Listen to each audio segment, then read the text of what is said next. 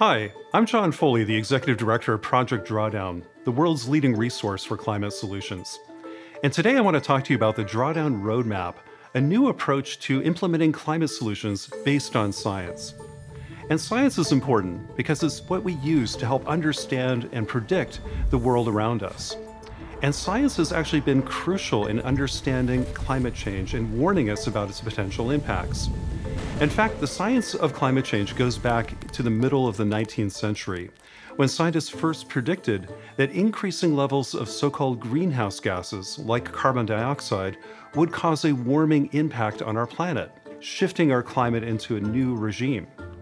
And as greenhouse gases increased from the 1900s through to the early 21st century, we in fact have seen a warming of our planet of about 1 degree Celsius so far. And that may not sound like a lot, only one degree. But the last ice age, where this planet was covered in ice caps and fundamentally different than today, was only about 3 degrees colder than normal. We're already 1 degree warmer than normal and growing into the future. And it's starting to have an impact not only in our thermometers, but on our landscapes, our water resources, our food systems, and even things like glaciers here in Alaska, where Muir Glacier now has to be renamed on the maps to Muir Lake. So, science has been a critical part of understanding the problem of climate change, and maybe can help us find the way out of the problem and focusing on solutions. But as we think about solutions to climate change, we're certainly seeing a lot of activity here today and a lot of different competing claims and agendas out there. For example, go on Twitter on any given day, and you'll find lots of very confident people telling you that they have the answer to climate change, and we're very happy to sell it to you. But how do you know which one is the right one, or maybe which mix of solutions will work best? Well, that's again where science can help guide us by looking at the solutions and asking which ones are the most effective, which ones are available now, and what are they going to cost? And are there any trade offs we have to be mindful of as we implement these solutions into the coming decades? So, science can guide us in our way forward and point a direction for success. And that's what Project Drawdown's been all about for the last few years. We've been using science to look at the world's proposed climate solutions, and we evaluate each and every single one of them in terms of their effectiveness, whether they're available now, and what they might cost in the future. Not surprisingly, things like solar energy are shown to work incredibly well. Solar, whether it's on our rooftops or maybe utility scale solar out in large fields, is a proven renewable energy solution and today is the cheapest form of energy humanity's ever created. So, this is a very good climate solution. Another good climate solution, may be a little surprising to some folks, is tackling food waste. That's because food and agriculture and the land use it uses and all that is responsible for about a quarter of the world's greenhouse gas emissions. But we throw away about a third of all the food in the world. If we didn't throw away a third of the food, maybe it doesn't have to emit so much greenhouse gases. So, tackling food waste turns out to not only be a food solution, it's also a climate solution.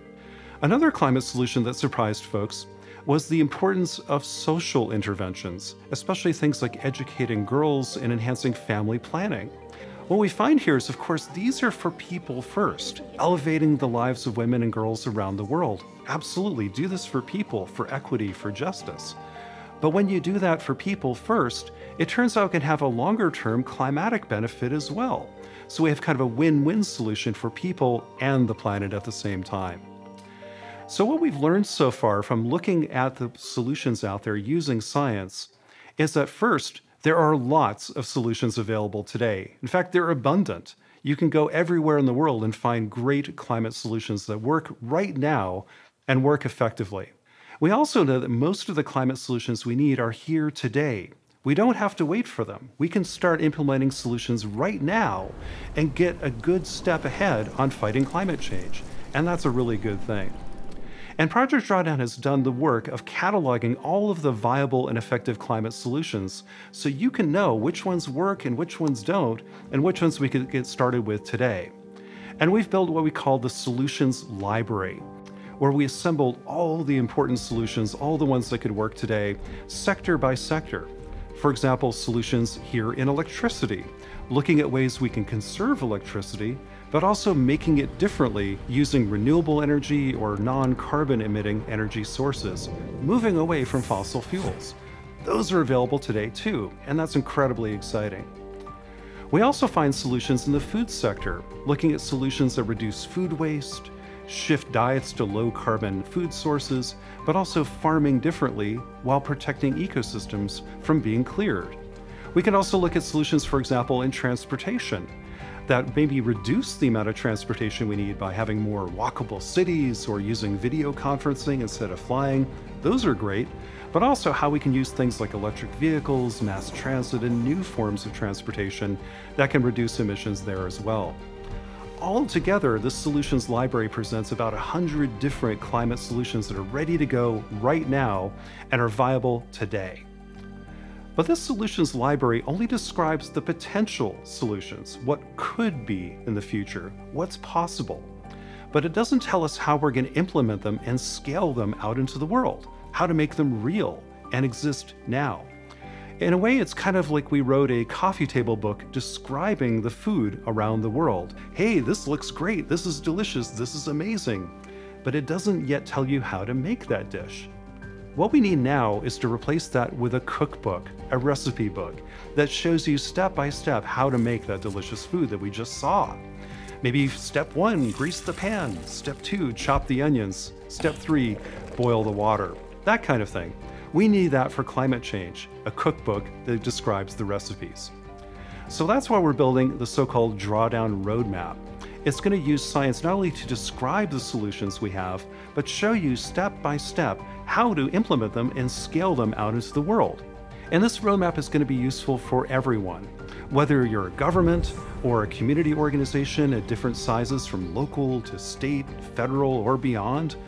It's also going to be useful for businesses who are going to be crucial in addressing climate change or useful for investors and philanthropists who are going to be critical in deploying the money and other resources we need to combat climate change in the future. So, what we have now is really kind of an incredible moment where we have numerous climate solutions that are ready to go, and now we know how to implement them. So, together, we can start to face this enormous challenge of climate change that is incredibly serious and we can step up and transform the world around us, replacing old systems that don't work very well with new ones that work better and protect our planet and build a more livable future. We can create new ways of doing things, entire new paradigms of how the world could work and work better. And altogether, not just address climate change, we can build a better world while we're at it.